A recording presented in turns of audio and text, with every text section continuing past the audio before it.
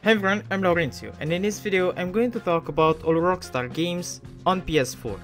And there's a short answer and a long answer. The short answer is that there are two games. I mean, for the PS4, only two Rockstar games were released, GTA 5 and Red Dead Redemption 2. But even if this were the game specifically developed for the PS4, you can play other Rockstar games which are ports, not remakes or remastered. No, they are straight up ports. And if you consider the ports too, and if you consider GTA Online and Red Dead Online as separate games, you can count around 17 Rockstar games you can play on the PS4. The real number depends on how you consider the games. Okay, let's just get into them. So as GTA games, you can play on the PS4 GTA 3, GTA Vice City, GTA San Andreas, and GTA 5, and GTA Online. And I don't know if you've noticed, but one major GTA game in chronological order is missing. GTA 4. They didn't port GTA 4. I've covered the matter in the old GTA games for PS4 video why I mean, I found a clue that maybe GTA 4 was too hard to port, because almost every port on the PS4 is a PS2 title. The PS4 has an inbuilt PS2 emulator. Rockstar didn't really make that big of an effort to port these games onto the PS4. They just slapped on the old PS2 games and called it a day. In GTA 3 and Vice City, the games even run choppy when there is too much happening on screen. Yeah, the PS4 has poor frames on an old game. This is just poor optimization. But at least GTA San Andreas works well. And on PS4 they didn't do the same mistake of porting the mobile version like they did on PS3 and 360. No, you get the sexy yellow tint in San Andreas that you get on PS2. And it looks beautiful, and the game plays beautiful. And GTA 5 is a beast. And I don't think I have to insist on any review as you've most probably already played the game. It brings many improvements though, and I can praise one of them. The most appreciated one by me is the checkpoint system. If you fail in a mission, you can restart from a checkpoint rather than going all the way back to, the, to restart the mission. Other than these games, you can also play the first Manhunt game on PS2. It's a pretty disturbing game and incredibly violent, and playing the game makes you feel like a freak with dementia. And the game was even banned in multiple countries, but yeah, it's a unique experience, and you can play it on PS4 too. Manhunt 2, which also came on PS2, is not available on PS4, and I can't understand the inconsistency in Rockstar porting their games. I mean, if they put the least amount of effort and didn't even optimize the ports for, from PS2, why not sell all the games that came out on PS2? From the GTA series, Liberty City Stories and Vice City Stories are missing. Here, Manhunt 2 is missing. The inconsistency is weird, and I couldn't find an answer online on what is going on. Okay, and another Rockstar game ported on PS4 is LA Noire which is a game made for PS3. And seeing a PS3 port makes me rethink my theory of GTA 4 not being ported because it was too hard to develop. Maybe Rockstar isn't proud of GTA 4. Or GTA 4 really is that big of a mess on the programming department. I don't know. Anyway, you can play LA Noire 2 on PS4 and LA Noire even comes in the form of VR too. The port to VR is nicely done. It's the same game as the base one, just that this time it's in VR. Another Rockstar game you can play on your PS4 is Bully. It's originally a PS2 game, but it was ported on PS4. And if you've never played the game, you should. Just imagine that this game is GTA, but school edition. You play as a student and the way the game plays is like GTA, but instead of driving cars, you drive a bike, and instead of guns, you shoot with your slingshot and other weapons more adjusted to a student. You also beat up people, rob them, you have a big map to explore and a lot of stuff to do. You know how much detail Rockstar puts into their games. This one is no exception. It's another masterpiece. If you've never played the game, you definitely should. The Warriors is the tie-in game of the movie The Warriors, released in 1979. It depicts one of the many gangs that New York had in the 70s. The gang's name is The Warriors.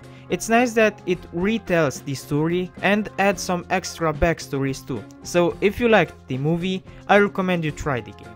If you like the story in the movie, here it is way more clear. The game explains the rivalries between the gangs and the way they escape the police and many more. The game is split into around 20 missions. During those you will play with different characters like the 9 primary guys, Swan, Ajax, Cleon, Vermin, Cochise, Cowboy, Snow, Fox and Rembrandt. The Warriors is a brawler, you mostly just brawl on the street. You get a light attack button, a heavy attack button and a grab button. You also get a nice variety of weapons like your paint spray or a shiv or a bat. You can also stealth take down enemies. The fighting gets to be very repetitive, but even if it feels at some point repetitive, fighting is not the only thing you'll do. Rockstar added many tasks to spice things up. So you'll be doing stuff like collecting protection money from Coney Island businesses or stealing car stereos and breaking into and looting shops or get into chasings, running after someone or from a mob or gang members. Okay, so the Warriors as a whole is one of those few games that are better than the movie. You know that they say that the book is better than the movie and the movie is better than the game. Well, in this case, the game is better than the movie. As it has the same story, but is more detailed. The game stretches out a 2 hour long movie into a well written, entertaining 12 hour gameplay. Another PS2 title playable on the PS4 is Max Payne. You play as a cop, Max Payne, the protagonist and the one on the title. And Max has this signature move, where he goes into slow motion and shoots everything. And it makes you feel awesome. I recommend the game. I still don't know why they didn't port Max Payne 2 or even 3, but at least you get the first one, which is awesome too, just like the other two. And another game that you can play on your PS4 is Red Dead Revolver. This game is interesting because it's a mix of two. At first the game was developed by Capcom. Then Capcom sold the project to Rockstar. Rockstar kept the art styles and visuals and made the gameplay. And the game is okay.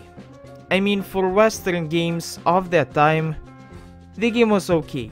You get to play with multiple characters, Red has the Deadeye ability, Annie can fire explosive bullets, Shadow can shoot fire arrows.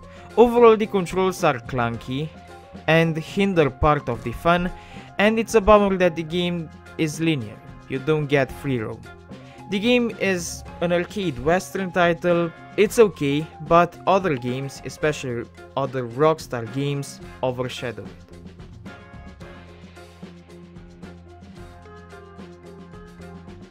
And the last one is Red Dead Redemption 2, a masterpiece. It's the ultimate western experience. The game manages to have all the western cliches and still be original. I mean almost anything you can imagine from a western game, Red Dead 2 has it.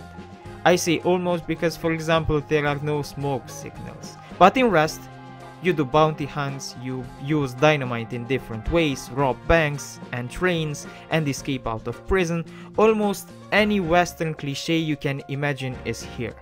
And the story is original too. And just like in the first Red Dead Redemption, it teaches you some valuable life lessons. I love games that do that. I mean, you play and learn. It's a win-win. The game isn't perfect though. In my opinion, the game has too many shootouts. Don't get me wrong, the gameplay is a dream, but some missions would have been better without a shootout. Let me just give you an example.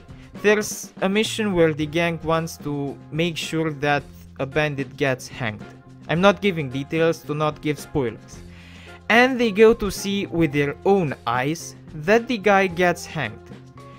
But the guy, but the guy had an escape plan planned. You intervene and stop it. Sounds amazing. It is. It's a fantastic idea of a plot. But at the end of the mission, out of nowhere, comes a shootout. And there are barely any missions that don't end in a shootout. As I said, the mechanics are nice, but there were times where the shootout felt forced. And another complaint is that if in the first one you could travel to a waypoint, in Red Dead 2 you can't fast travel to waypoints anymore, only in major cities and in your camps. I, I don't know why they skipped on a good feature. If they already had the fast travel thing well in the first one, why make it more annoying in the second one? The map is beautiful, but give the player the, give players the option of fast traveling the right way to a waypoint. And aside of these two complaints and some occasional glitches, the game is a masterpiece. It's the ultimate western experience. There's so much variety and so many things well done, it's amazing. Imagine that the game kept me hooked for more than 80 hours. And in those 80 hours, I always had the thirst for more. Usually games bore you easily, but this one is from the special sort, that no matter how much you play, you still want to play more. And you can see Rockstar's dedication in the project. They remade half of the map from Red Dead 1 without even integrating it into the story. It was designed to be used in multiplayer. How crazy is that? And Red Dead 2 multiplayer has a plot too. They really went the extra mile with the game, like Rockstar usually does in video games. And the end product, as expected from a Rockstar game, is a masterpiece. And even calling it a masterpiece is maybe too low of a grade. That's how good Rockstar games are, and Red Dead 2. Okay, so this was the video. If you liked it, please hit the like button and subscribe. If you want to financially support me in my pursuit to review as many video games as possible, you can do that on Patreon or on the channel's membership section. You would help me a lot. If you want, you can follow me on Twitch, Instagram or Discord. And if you want to see another video of mine, just wait till I stop talking and there will be thumbnails of other videos I've made. Thanks for watching.